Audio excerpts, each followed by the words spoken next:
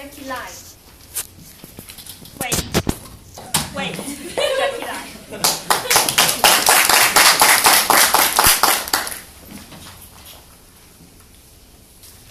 Not long before, I went to the transport department to have my driving license renewed. It was an ordinary day, ordinary afternoon. And at the transport department, to my surprise, it was a big crowd there. For a very simple process of renewal of the license, it took me one and a half hour. You heard? Start? Yes. It was so undeserving. Had I been uh, doing the right thing, that is to make an appointment on internet, then I would have spent only five minutes. But at that time, I had to wait.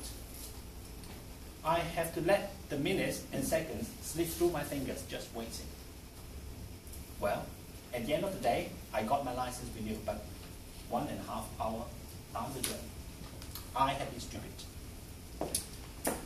I want to tell you the story of Dr. Peter Lowe.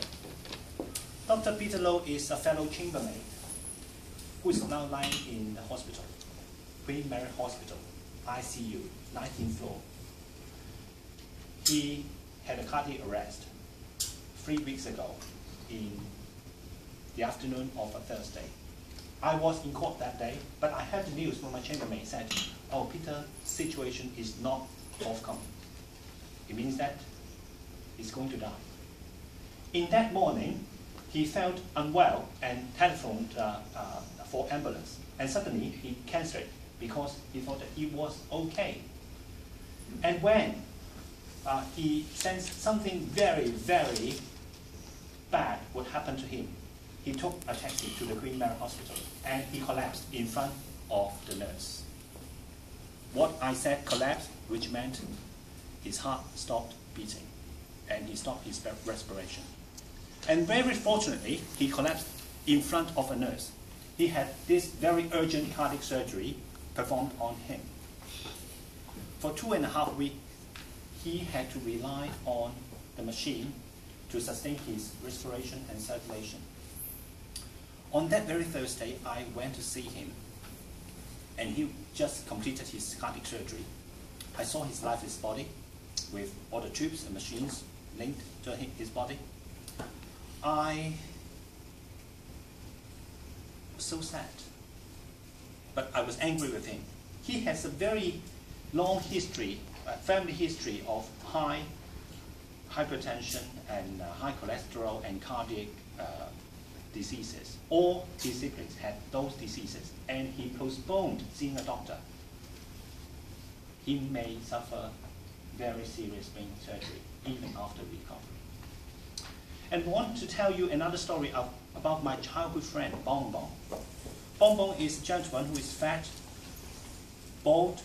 Uh, I, I, I, do not know whether he's impotent by now, but uh, he's uh, not very attractive gentleman. yes, he's still single.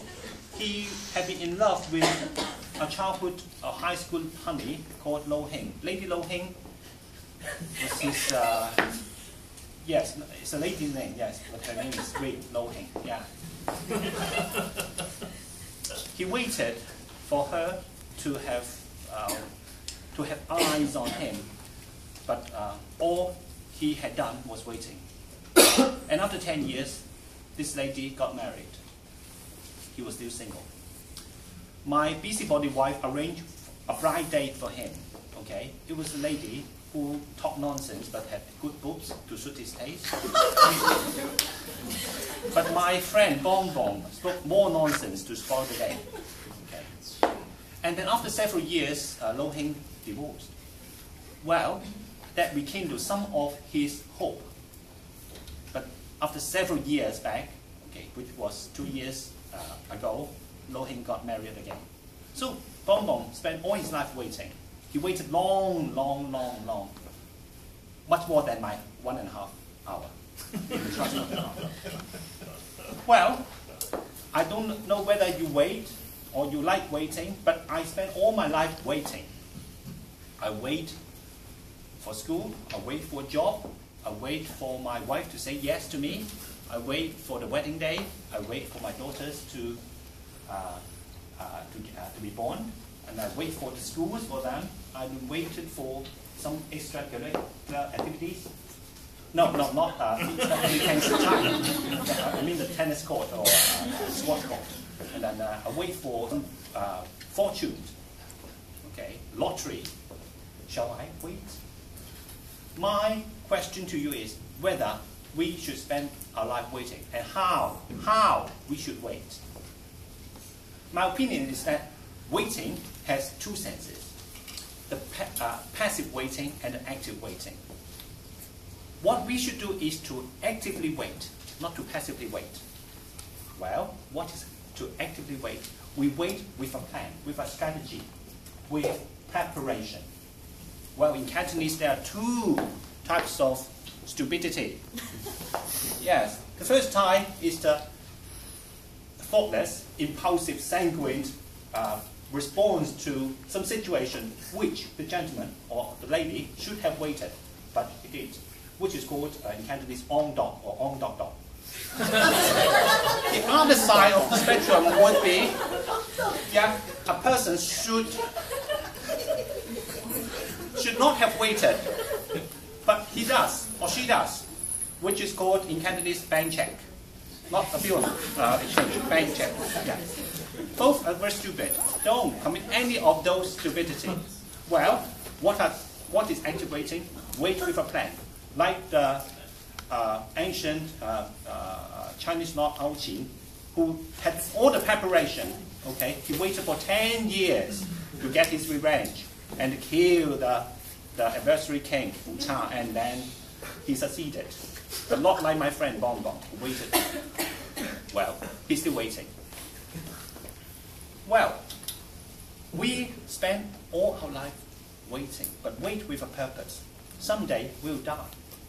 I believe that, except some fairy, Tina, we are all mortal. We will die someday. I know you are a fairy in disguise.